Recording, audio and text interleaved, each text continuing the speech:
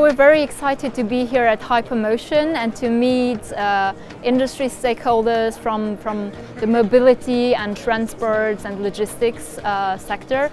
Uh, we're excited to be here to present a number of opportunities we see uh, in, in collaborations with those industries. Wir freuen uns sehr auf der Hypermotion 2018 dabei zu sein in Frankfurt. Äh, wir wollen eigentlich zeigen, dass Seilbahnen nicht nur im touristischen Bereich, wo viele Leute die Seilbahn schon gut kennen und auch viel schon damit gefahren sind, sondern wir wollen auch zeigen, dass die Seilbahn auch im urbanen Raum durchaus ihre Berechtigung hat und dass es sehr gut funktionierende Systeme weltweit gibt und dass es vielleicht auch für Deutschland eine Lösungsmöglichkeit für schwierige Verkehrsproblematiken wäre.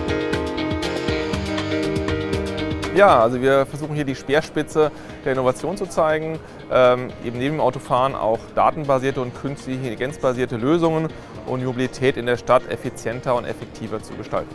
Für uns ist gerade so eine Messe wie die Hypermotion auch wichtig, weil die Lösungen der Zukunft können nicht mehr wie in der Vergangenheit von einem großen Player gelöst werden, sondern auch wir arbeiten immer mehr in einem Ökosystem. Ich denke, jeder, der hier heute über die Gänge äh, geht, sieht, wie wie gemischt, ich sag mal, auch die Stände sind. Dort sind Start-ups mit wirklich spannenden Lösungen. Dort sind Industrieunternehmen mit ihren Lösungen. Dort sind aber auch Kunden.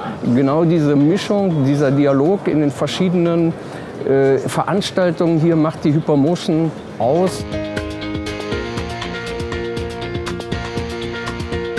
Heutzutage sind natürlich die entscheidenden Innovationstreiber Start-ups geschuldet der Entwicklung, der technologischen Entwicklung und auch die Innovationen, die daraus entstehen. Gleichfalls natürlich aber die Bekannten, die Logistiker, Dienstleister, wie wir sie sind, und natürlich aber auch die Kundschaft, weil die Kundschaft, wenn man es so nennen darf, unsere Kunden, die heute den Konsum betreiben, in jeglicher Hinsicht, diese werden die zukünftige Logistiklandschaft verändern.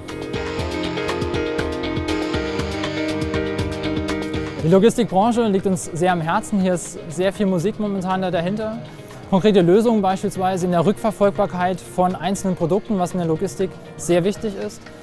Wir haben ebenfalls Lösungen, um beispielsweise auch den Demand und den Supply, also den Bedarf und was habe ich verfügbar auf Lager oder was muss ich produzieren, näher zusammenzubringen, um hier ein besseres Verständnis zu haben. Die Hypermotion hat für uns natürlich einen riesen Hebel. Denn zum einen sind hier tatsächlich ähm, potenzielle User unterwegs, die sich für unsere Lösung interessieren. Zum anderen sind aber auch von großen Corporates Innovationsscouts bei uns am Stand gewesen und äh, die Möglichkeit, in die Innovation Labs und in die, in die Scouting-Abteilungen von den großen ähm, Plattformen zu kommen, ist für uns natürlich eine ganz tolle Möglichkeit. Well, my personal passion comes from the fact that what we do at iSpace is really at the edge of what people think is possible. This happens for the first time because um, basically this industry has always been traditionally led by government agencies and we are now at the point where we democratize access to space and where commercial companies go to the moon for the very first time.